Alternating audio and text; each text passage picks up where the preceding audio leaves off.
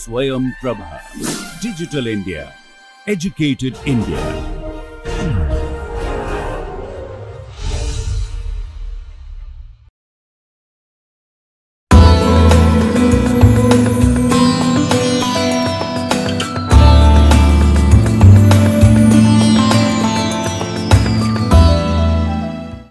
In this lecture, we shall deal with the work of Panini and other grammarians in India and the kind of influence they have had on the development of mathematics. So, in this lecture I will say something about the development of Vyakarana Shabda Shastra grammar, something about the centrality of Panini in Indian tradition, some discussion of the nature and purpose of Panini's grammar, few quotes on how modern scholarship has understood Panini's Ashtadhyayi. We will in particular discuss something about the Shiva Sutras and the kind of techniques that arise from them, the nature of context sensitive rules and other techniques in Ashtadhyayi, something about the idea of 0 in Panini and I will say something about uh, Bhartrhari's Vakyapadiya, how it says that uh, Panini's grammar is an upaya. We will explain what it is when it comes. There were many pre-Paninian texts. Panini's Ashtadhyayi is not the first grammar of Sanskrit. There were many, many pre-Paninian grammarians. Yaskas, Nirukta, we all know. There were several Pratishakya texts in various shakas of the Vedas. Panini himself refers to officially Indra, Kashakritsna, Shakatayana, Vyadi and several others. Panini's uh, Ashtadhyayi, Ashtadhyayi means the text with 8 chapters, Sutra Patha that it is a collection of uh, sutras. There is a there are two allied texts with the Ashtadhyayi, one is the Dhatu Patha and another is the Gana Patha. Vartika on Panini's uh, Ashtadhyayi was written by Katyayana. Then of course there comes the very famous uh, Mahabhashya of Patanjali. There were other systems of grammar also in the post Paninian era. Chandra Gomin's Chandra Vyakarana, Sharva Varman's Katantra Vyakarana, Devanandin's uh, Jainendra Vyakarana are some of them. Bhartrhari is a very famous. He wrote a very important text Vakyapadiya. He also wrote a commentary on Mahabhashya. We all know he wrote the three famous uh, Shatakas. Jayaditya and Vamana wrote the first simple commentary on Panini's Ashtadhyayi called the Kashika Vritti. This was commented upon by Jinendra Buddhi. Kaiyata wrote a commentary on Mahabhashya. Dharmakirti is a Buddhist uh, uh, grammarian, he wrote the text Rupavatara. Hemachandra was a scholar of several disciplines, he flourished in Gujarat, uh, he wrote grammars of Prakrita languages also.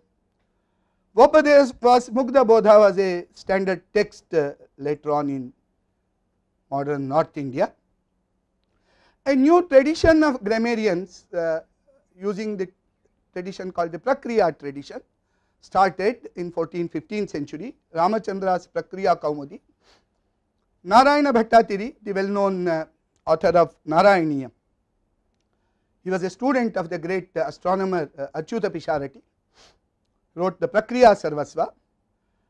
Bhattoji's Dikshita's uh, Siddhanta Kaumudi became the standard text which was uh, learnt by students. Panini's grammar was hardly studied in the original format after 17th century. People studied Bhattoji, Bhattoji's Siddhanta Kaumudi or several of its simpler version which is what is studied today Varadaraja's Laghu Siddhanta Kaumudi or Sara Siddhanta Kaumudi. Discussion of uh, philosophy of grammar was equally important in this modern period. Kaunda Bhatta, Vyakarana Bhushana. Then of course, most of you are aware of the great uh, grammarian and philosopher Nagesha Bhatta uh, in 18th century who wrote several very important texts, uh, the Parama Laghu Manjusha, Paribhashendu Shekhara and many many other important texts. Parallelly, there was an influence on grammars in other languages also. Tamil had Tolkapiyam in very ancient times, then Veerasholiyam, Nannul. Kannada had Karnataka Bhasha Bhushana, Shabdamani Darpana Karnataka Shabdanushasana Telugu had Andhra Shabda Chintamani Andhra Bhasha Bhushana Pali Vyakarana is very important from ancient Katyayana's time there were later grammars like Shabda Lakhan Prakrit had several grammars in Akbar's time there was one Krishnadasa who wrote a grammar of Persian language called Parasi Prakasha in Paninian methodology, using Paninian style and methodology. As I explained in the introductory talk also that uh, the Shastras in India do not enunciate a set of propositions or theorems, they explain a set of procedures and these procedures are uh, in different Shastras they may have different name like Vidhi, Kriya, Prakriya etc. And the basic texts of various Shastras actually encode these procedures in the form of sutras. There is a very ancient saying of found in Vishnu Dharmottara Purana of what a sutra is. It just explains the major characteristics of a sutra Alpaksharam, Asandigdham, Saravat, Vishwatomukham, Astobham, Anavadyancha, Sutram, Sutravido, Viduhu that it has to be concise, unambiguous, pithy, comprehensive, shorn of irrelevances, blemishless, etc. It is generally acknowledged that Panini's Ashtadhyayi is the paradigmatic example of such a sutra text.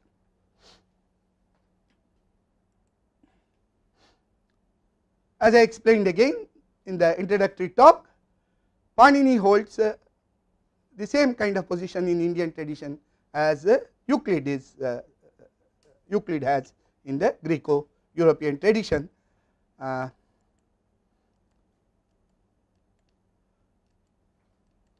Now, what is the basic purpose of Panini's grammar, nature and purpose of Panini's grammar? Atha Shabdanuशासनम is the first Vartika, it is not the first sutra of Panini, it is the first Vartika of uh, Katyayana अनुशासनम प्रकृति प्रत्यय विभागेन व्युत्पादनम तद व्याकरणेन साक्षात क्रियता इति साक्षात प्रयोजनम this is अन्नम भट्टा the famous author of तर्क संग्रह he has written a, a vyakhyana on the udyota which is written on the commentary pradeepa which is a commentary on mahabhashya of patanjali which itself is a commentary instruction namely generation of sentences vyutpadanam that is the word annam bhatta is saying by using prakriti pratyaya and other components so the words of sanskrit uh, are generated or produced uh, like you have a puzzle sort of a book you have various basic units then you sort of make. So that is the nature of uh, Panini's grammar that you have the basic units prakriti pratyaya and things like that and other components. And from that you produce valid utterances, valid shabdas and that is the nature of sakshat prayojanam. That is the direct use of Panini's grammar. And the same thing is explained in a different way by Patanjali who is explaining that uh, what is the ideal way to teach correct sentences, correct words. Of course, the ideal way is to list all of them and uh, then he says that Brihaspati tried to follow this method to instruct Indra and he took uh, 1000 divine years, each divine year is supposed to be 360 years. So, he took 1000 divine years to teach Indra uh, list all valid uh, words, sentences etc. and he could not reach the end. But of course, that is the ultimate uh, the method that if you really want to say without any doubt that you know the correct utterances, you have to be able to have a list with you, but that is not humanly possible. So, we have to do something, uh, we have to take recourse to a different methodology. How are we then going to instruct the valid words and utterances of a language? Kinchit samanya visheshaval lakshanam pravartyam yena alpena yatnena mahato mahataha shabdaughat pratipadyeran. Patanjali's Mahabhashya is said to be the ideal Sanskrit prose. It used to be taught to students till 50, 60 years ago to learn how to learn Sanskrit. Kim Punastat, what is that method? That by a small effort you are able to understand a large number of uh, correct valid utterances in Sanskrit. That method is Utsarga Apavadav. Kaschit Utsargaha Kartavyaha, Kaschit Apavadaha kartavyaha. So, utsarga means general rule, apavada means exceptional rule. So, by a set of general and exceptional rules, we try to approximate and reach all possible valid utterances of the Sanskrit language and that is the method that Patanjali is formulating. And remember right at the formulation of what is grammar, it's the apavada is in fact as important if not more important than the general rule utsarga. So, of course, uh, he has given Patanjali there is giving uh, two examples of uh, utsarga and apavada they are fairly technical karmanyan tasya visheshena apavadaha atonupasarge kaha these are uh, two sutras uh, which uh, tell you the first one is the general rule where the an pratyaya is to be used. The second one is the kaha to be used. Uh, we will not go into such technicalities. So we will see an example of a utsarga and apavada while discussing panini's grammar so quickly let us see how modern scholarship has understood uh, panini's grammar how they have been uh, sort of bewildered and surprised by its uh, depth and detail.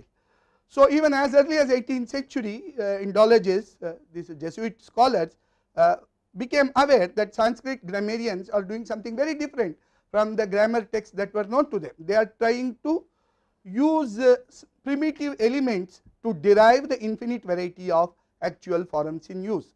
Uh, the grammars that are in general use are what are called as paradigmatic grammars. Paradigmatic grammars are where you learn finished forms as it is. We do do that even in Sanskrit today when we sort of uh, do uh, remember the Rama Shabda. This is a, an example of a paradigmatic uh, instruction. So, you remember Ramaha, Ramau, Ramaha, so Akaranta Pullinga Shabda has to go this way. But Panini's grammar is to tell you how to derive Ramaha, Ramau, Ramaha and it will tell you derive all Shabdas and all verbs and all things. So, it is different from the paradigmatic grammars that were generally known uh, in Europe. And uh, Bloomfield is explaining Panini's grammar as the best descriptive grammar of Sanskrit. At the time of Bloomfield in 1930s, descriptive grammar was the technique that the grammarians thought very highly.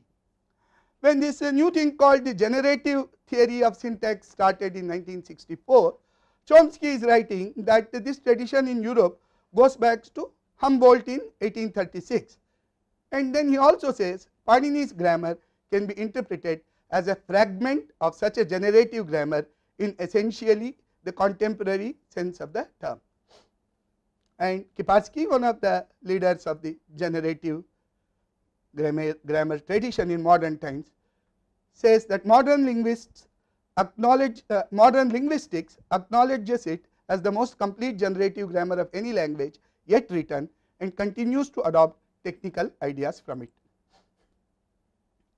Here is another scholar who is trying to explain that when modern scholarship confronted itself with Panini's grammar, much of it sounded very obtruse and unnecessary and somewhat uh, uh, confusing. And uh, later on when similar techniques did get developed in Europe, some of them by under the influence of Panini's grammar itself, it became very clear that Panini is doing something very interesting if not very something very sophisticated. So, when uh, similar thing he says happened to the Indian tradition of Navya which people thought was a set of meaningless uh, utterances till similar techniques became known in Europe and they were then understood to be something philosophically significant.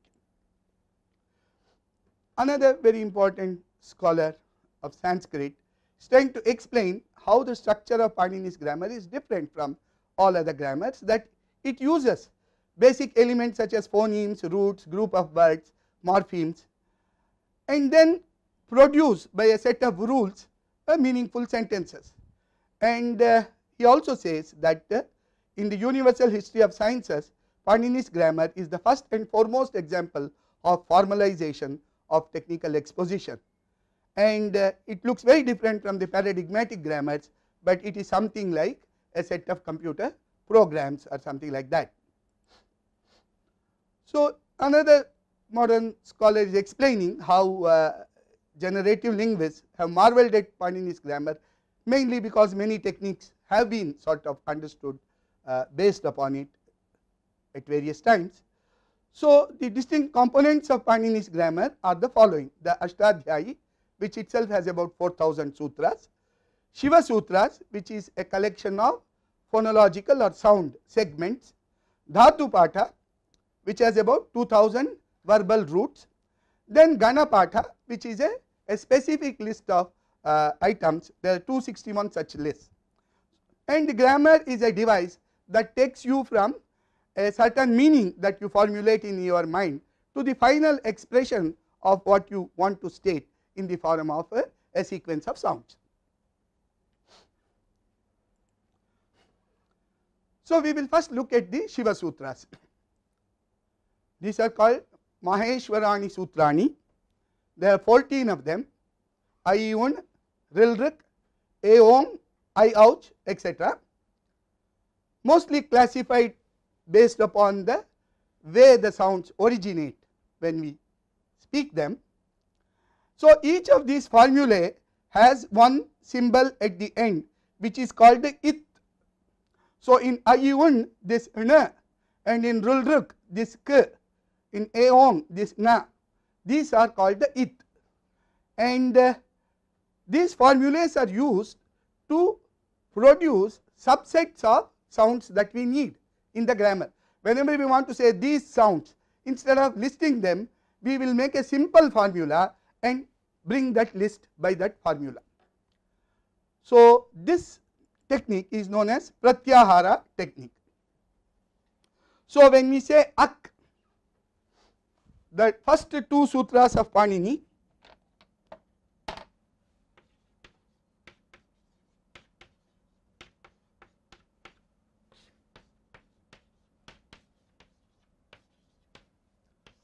So, when we say ak, we are using IEU and RILDR. We omit this na and omit this. So, the formula ak stands for the 5 sounds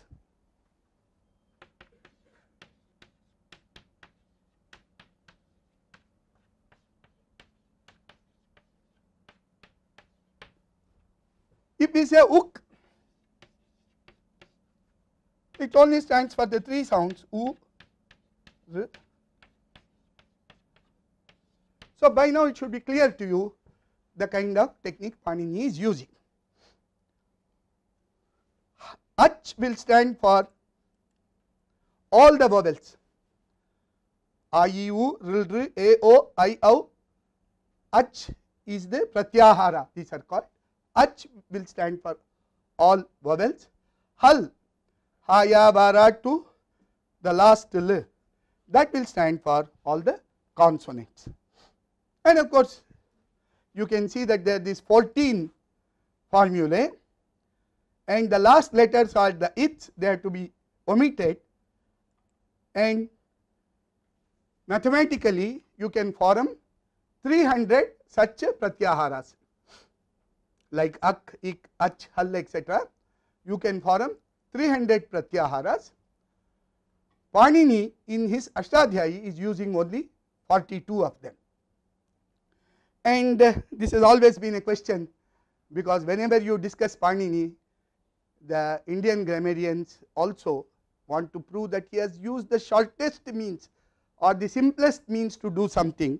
And so, the questions has been asked that uh, could we have listed these 42 subsets that Panini is using by a different set of pratyaharas which is simpler and this question has been answered uh, that it is not possible uh, that this is in fact the optimal way of encoding 42 ordered subsets of Sanskrit sounds these 14 Pratyahara Sutras are the best or the optimal way of doing that.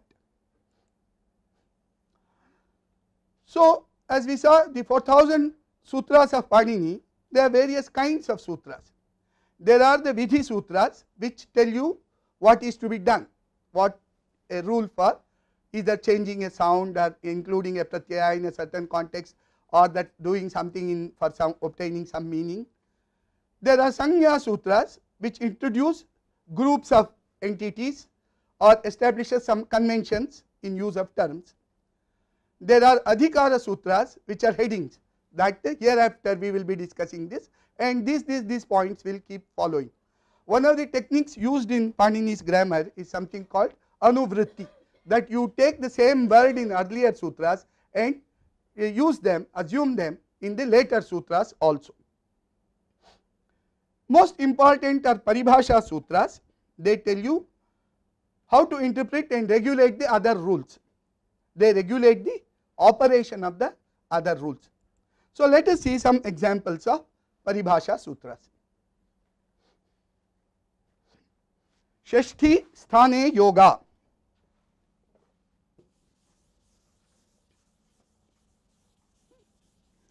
the Shashti Vibhakti when it appears it will mean in place of. So, if you want to replace one sound by another sound you use the sound that is to be replaced you use it in the genitive case. Tasmin iti nirdishte purvasya locative defines the right context. So, if you want to say before something a certain change has to occur the later quantity the later sound is used in the saptami vibhakti tasmin iti nirdishte. Tasmat iti uttarasya. So, something which follows a given sound an operation is to be done you indicate it by the panchami vibhakti or the ablative case. The other rule is yatha sankham anudesha samanam. If there is a, a set of transformation and two sets of uh, uh, entities are given, you correspondingly take one to the corresponding thing in the other set that if they have the same number you just follow a simple rule of one to one corresponding. These are simple Paribhasha Sutras. There are very complex Paribhasha Sutras. In fact, one of the most interesting Paribhasha Sutra of Panini is called the Asiddha rule. Purvatra Siddham. This occurs in the beginning of the second pada of the eighth adhyaya of Ashtadhyayi. So, this says that all those sutras of Panini which start with the first adhyaya up to the first pada of the eight adhyayas are taken to be asiddha with respect to the later rules. That means the later rules do not exist as far as the earlier rules are concerned.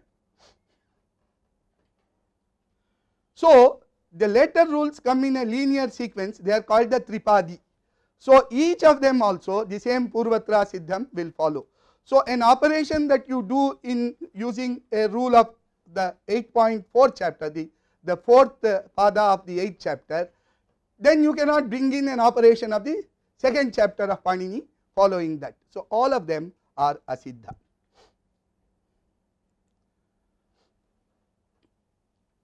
So, the Paninian grammar as you can see has many many complex ideas, but uh, we will just examine one kind of rule that is used in Panini just to see the operation of the previous paribhashas that I had discussed Shashti, Sthane, Yoga etc. So, a context sensitive rule what I mean by that is something like this I have written it like this it means that if this A is sandwiched between C and D then it will go to B this is the nature of the rule. Such a rule is called a context sensitive rule that A goes to B when C is before that and D is after that. Now, in Panini's grammar such a rule is formulated by on A you put the Shashti Vibhakti and on B you put the Prathama Vibhakti, on C you put the Panchami Vibhakti and on D you put the Saptami Vibhakti and you state your rule then it means that C is before D is later in that context A goes to B. Let us see this with the well known what is called the Yan Sandhi. Iko Yanachi, Ik stands for E U Ril R, Yan stands for Ya Va Ra La. So, this Achi, so Ikaha Yan ach. This is the this is in the Saptami Vibhakti. So, when a vowel follows this set of ik which is in the Shashti Vibhakti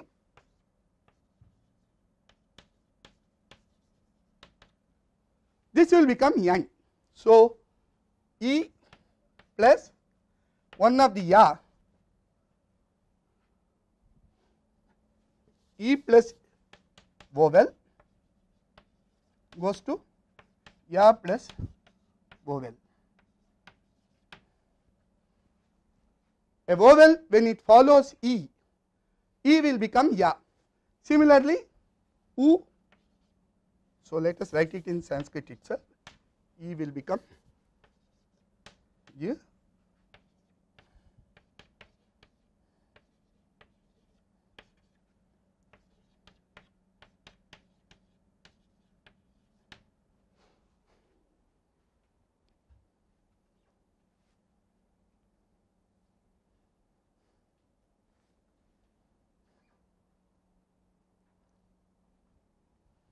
Similarly for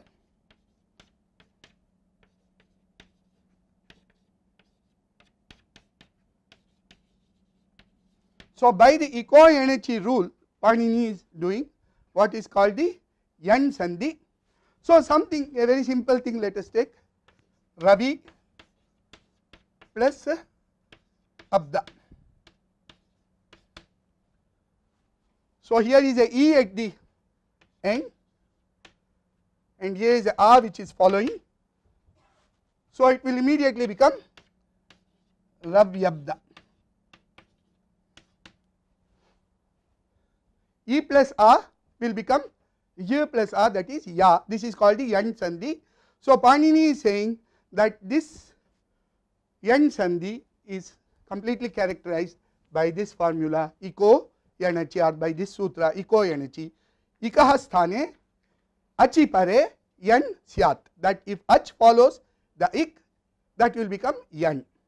Now, we also know that Ravi plus Indra is Ravindra. It is not Ravyandra, Ravyindra, it is not that. So, that is an exception. So, that exception is called the Savarna Dirgha Sandhi, Akas Savarne Dirghaha. This is the Sutra 6.1.101 of Panini that Akaha, Ak when Savarne, when the same sound follows Dirghaha it will become elongated. So, E plus E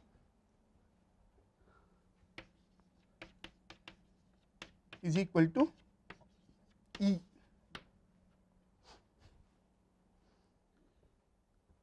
So, there is eco energy which is an Utsarga rule which is a general rule which is telling you the end sandhi and there is an Apavada Sutra there is an exception rule Akas Savarne Dirgha which is giving you the Savarna Dirgha Sandhi.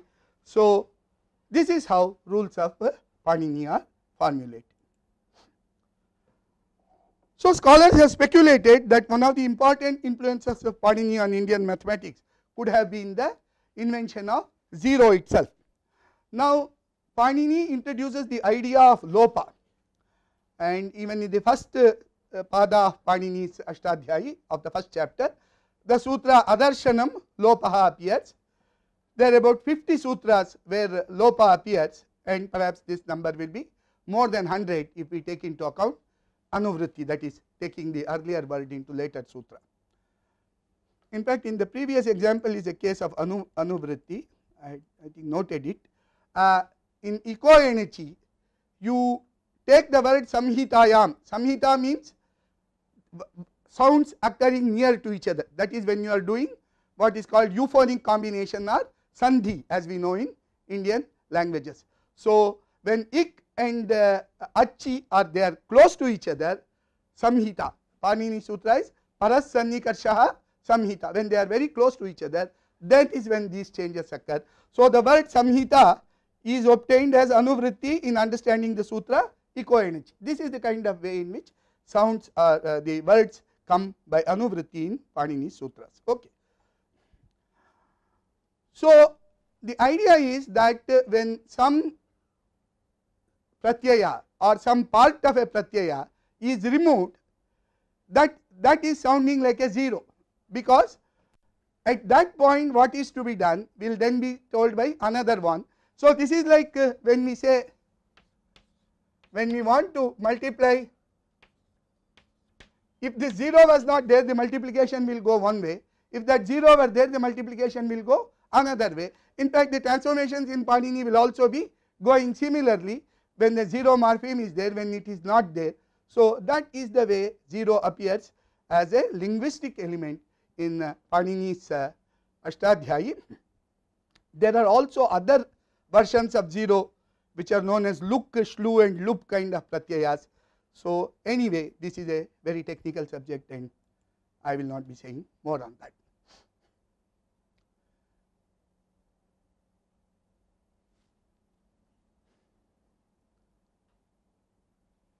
Is this example clear or is there any doubt on this? Now we come to how the Indian philosophers understood the Panini's grammar. As we all know that uh, in barely around 4000 rules or sutras, Panini is able to formulate all rules for formulating correct words in Sanskrit and this he does with the aid, of other lists like the Dhatu Patha or the and of course the Shiva Sutras also. And it was very successful. There is Apaniniya Prayogas were considered wrong. But even then, Indian philosophers did think that even such a perfect thing like Panini's grammar is only an approach to language. It is not a substitution for the reality of language itself. In fact, in Patanjali's Mahabhashya, right at the beginning, there is a discussion that when we want words, uh, we do not go to a grammarian and ask him or when we want sentences or when he want to when we want to say something, we do not go to a grammarian and say give me a few sentences or give me a few words. Unlike uh, when we want pots or when we want vessels, we go to a metallurgist, a metal worker or a potter uh, to give us uh, pots and vessels. So, a grammarian is working with the language which is already established in the world. The reality of the language lies in the world. The grammarian's task is to give an approach to that reality and therefore, Patan, uh, Bhartrhari is here explaining uh, the philosophy of uh, Sanskrit grammarians. This is in fact the philosophy of most other shastras also in Sanskrit.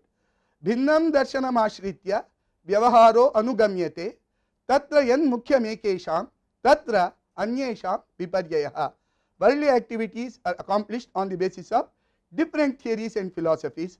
What is important in one theory may not be so in another. A more commonly known quote of Vakyapadya, Vakyapadya is a, uh, a very big work and a highly philosophical work, uh, very difficult to understand without looking up its commentaries. This verse of Bhartrhari is widely quoted by Indian astronomers also. Bhaskara 1 in his commentary of Aryabhatiya quotes this verse. Nilakantha Somayaji in his commentary of Aryabhatiya quotes this words उपादाया ये हेया तान उपायान प्रचक्षते उपायानांच नियमो नावश्यम अवतिष्ठते अर्थम कथंचित पुरुषः कथंचित प्रतिपद्यते the procedure start in the shastras are only means and they are to be discarded even though if the object that we want to accomplish is still there we have to use them that is their specific purpose is for accomplishing these objects they are they have no higher status than that. Upayanancha niyamo navashyam avatisthate. And to accomplish the objects, the upayas are used and there is no other limitation on them, that there is no other constraint that you put on the methods that are to be used. And in fact, as regards the meaning, most people do know what the meanings are without having to go through the grammarian's exercise. Now, the way this verse is understood uh, is from the commentary of Punya Raja basically it is saying Kashtidacharya Panini Vidichitena Lakshana Shastrena shabdan adhigachati kashchit anyena iti naniyamah. So, one teacher may like to teach Sanskrit grammar through Panini's grammar and another teacher may would like to use another system of grammar. If all of them work equally well, there is really no limitation on which is the system to be followed. This is a fairly sophisticated understanding after you almost come up with a fairly complete theory of uh, a mechanism for characterizing all valid words of uh, sentences of a language. Uh, you also say that this is only a means and if uh, others are coming up with other formulations uh, which can be equally successful or uh, at least which can uh, which are of use you are free to go ahead and use it. This is the kind of philosophical principle that uh, the grammar is only a means for understanding valid utterances. The valid utterances are there out in the world is something that is very important even in other sciences when discussing the relation between theory and observation in uh, astronomy this kind of a principle finds a, a more direct use and that is why people uh, have cited this verse of Bhartrihari uh, on the, the, the entire Panini Shastra is an upaya is a means for understanding and uh, this was the kind of understanding that Indian grammarians had in uh, setting up their grammatical formulations. Uh, with this I think uh, we have summarized some of the essential features of uh, Panini's grammar which are of uh, importance in understanding the development of mathematics in India. Uh, thank you very much.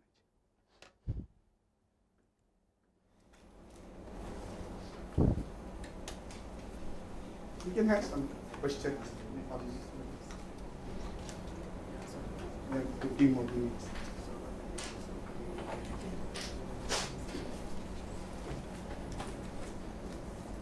Saying that uh, the language existed before the grammar, sir, if, if Bhartrihari, uh, if Bhartrihari is, uh, uh, is saying that uh, the language existed before the grammar, sir, then what is the point of saying that it is a generated grammar?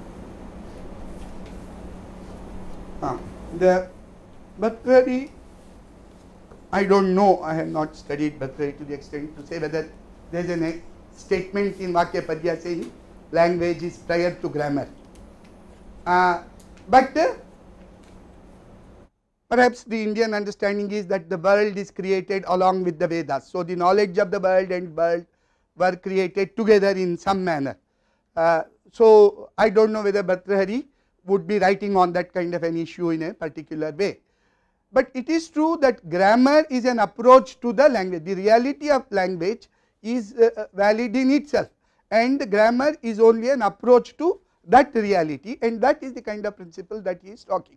And the generative grammar serves both the kinds of purposes. One is that given the that there is a purpose of economy that you generate all valid utterances from a collection of uh, basic. Uh, so, there are uh, to get all the shabdas in the our uh, book of shabdas.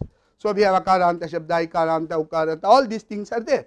There are only these 21 pratyayas which are applied on the, the pratipadikas to get all these vibhakti forms. So, this is an economy that this is an economy in terms of prakriti and pratyaya. You generate all the shabdas that are there in the shabda book or all the dhatus, the, the all the kriya rupas that are there in the book of uh, the, this uh, dhatu uh, rupa books. So, it is a means, it is an economic means and it is a generative method that it is analyzing a given expression in terms of constituents or basic units. Now, this question that these constituent units, what significance they have in themselves, in understanding it these kind of philosophical principles come into play. So, do the meanings reside in these constituent units? Now, if somebody generates another grammar by using different constituent units, then what happens to it? So, to understand all such sophisticated uh, things, these kind of philosophical principles come into play. This is one aspect of generation. The other aspect is that you have a given word, you want to cut it into uh, sort of constituent parts and understand its meaning. That is also a part of generative grammar. So, it does both to a given idea is transformed into a well formed word or sentence. A well formed word or sentence is analyzed to various constituent units. but there is no unique way even though we have a very nice beautiful way given by Panini or other acharyas for doing it, but it is not to be confused to be the language itself. This is all I think what Bhartrhari seems to be saying. How many Ashtadhyayi is 8 chapters, each of them has 4, four padas.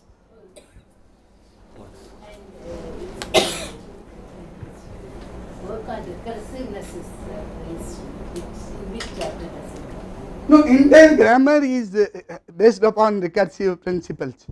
Uh, so, it is not formulated as a separate uh, principle in grammar that you fo follow one after the other and all aspects of rule ordering etc and uh, uh, sort of sequential rule applications they are all there in the entire Paninian uh, setup. So, recursiveness is a part of the Paninian grammar.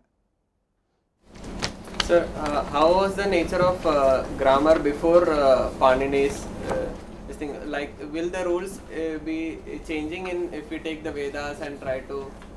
These Pratishakyas have rules which are similar to Paninian rules, but they do not encompass whole of uh, both the Vedic language and the classical language that Panini provided in one text.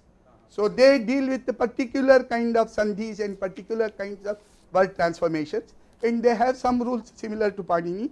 Which texts are pre-Paninian, which texts are post-Paninian, there may not be complete consensus on that kind of question or clear understanding on it. Uh, so, it is to be understood that uh, Panini is not the originator of all the techniques and all the ideas and all the, he may be originator of many of them, but grammar is much prior to. So if we have to study some text before uh, Panini's time, then we'll have to study the grammar rules of those times. This is a difficult question, I am not an expert on this, so I cannot tell you offhand.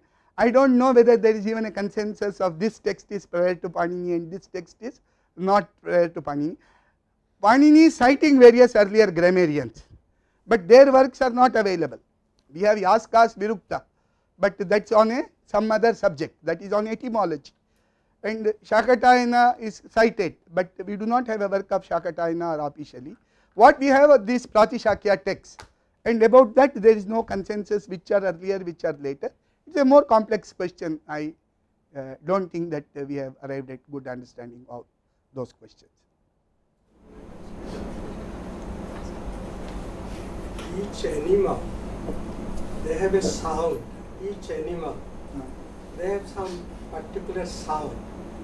You can recognize from the distance. Is there any particular sound for the human beings at the beginning?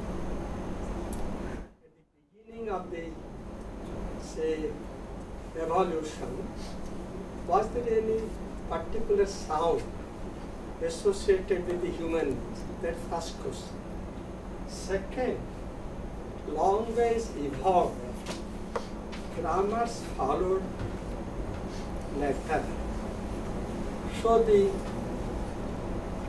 reason for developing grammar, as you have already told, to economize our system, knowledge system, to communicate each other. So the grammar refined the language, but how did the language evolve first?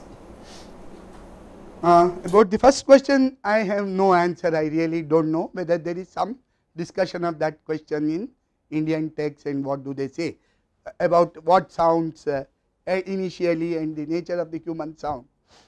On the second question that the language evolves and grammar follows as I said uh, that is implicit in the way even in that example that you do not go to a potter uh, a, a, grammarian to ask him for words it is understood that the language evolves in the world. But now the changes in language do are reflected in, in new grammatical sort of uh, ideas or principles coming in. Many of the later Indian languages grammars are formulated by that kind of a method only that there is a original version and then there is a transformed version what is called the tatsama and the tadbhava uh, that this is the sort of the original version and the later version the word developed into this kind of a form. So, many Indian language grammars are formulated that way. Sanskrit grammars uh, the things that were left out by Panini or things that were later on changed or occasionally taken note of by various grammarians in Sanskrit. But since Panini gave sort of such a complete and comprehensive formulation, in some sense that sort of uh, uh, put a, a structure for the language. Uh, in some sense the grammar becoming very very detailed and correct forces the language to evolve more slowly than it would have evolved in, uh, in the natural way when it was not systematized at all.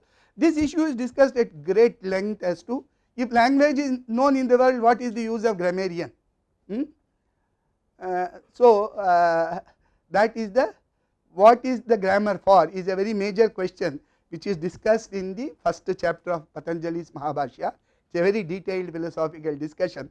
Ultimately Patanjali comes to the conclusion that grammar actually tells you what is called the literary or the proper way of uh, using the language uh, and language can still be used in many other ways. So, a grammarian can be identified uh, by knowing that he is immediately using the language in the literally perfect manner that kind of understanding and so language is still free to evolve the way it evolves. This question is a very complex question uh, and I do not think today's philosophers have fully analyzed what was the nature of this discussion that uh, Patanjali is talking. This is true of music also, Music in what sense? very similar. That music you find in the world, but musicologists are trying. Yes, yes. There is more music in the world than uh, or sort of uh, encompassed in the theories of the musicians. Yes, but uh, after you make a very detailed theory of music, much of the music that you hear in the world is conditioned by the way you have uh, sort of understood your musical principles. I think these are all questions which are very very uh, fundamental and only people who have sort of first understood the technicalities of this discipline could then go into such philosophical issues. In fact, the Indian texts uh, almost emphasize first that you understand the details of the techniques. The philosophical questions can come later because there is no unique single answers to these philosophy, uh, I mean the kind of question that started off Chomsky that whether the nature of grammar, there is some universal grammar that is there in the mind already in the mind of every individual. Uh, and from that he ultimately arrives at the need for formulating a generative grammar. I think the Indian uh, grammarians and philosophers go the other way around. You first formulate a fairly sophisticated and uh, uh, a grammar that works, then maybe some philosophical questions uh, can be addressed because otherwise there is no simple access to those kinds of questions and many of them perhaps have to be left unanswered for generations or for all times to come. So, so this is a, we're talking about mathematics here, right? So, what are those mathematical principles which are uh, embedded in Panini's approach to grammar? Yes.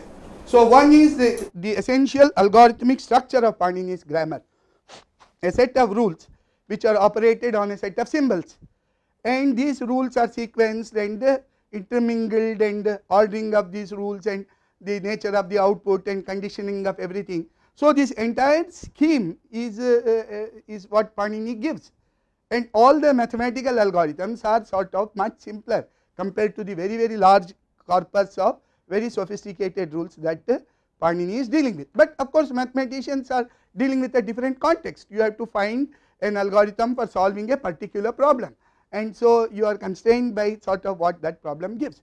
So, this recursion, this algorithmic nature using of these symbolic languages which is at the basis of algebra, uh, even this partially ordered subsets that we are constructing by the Shiva Sutras. So, many many ideas are there which are uh, of deep mathematical significance whether in our mathematical tradition we did develop all of them or to what extent we have considered them may be a question, but uh, surely all these have had uh, great impact on the development of mathematics in India. And as I said 0 is one of the issues where most scholars believe. Yes, yes, Thing Yes. one is grammar is yes, yes, on. yes.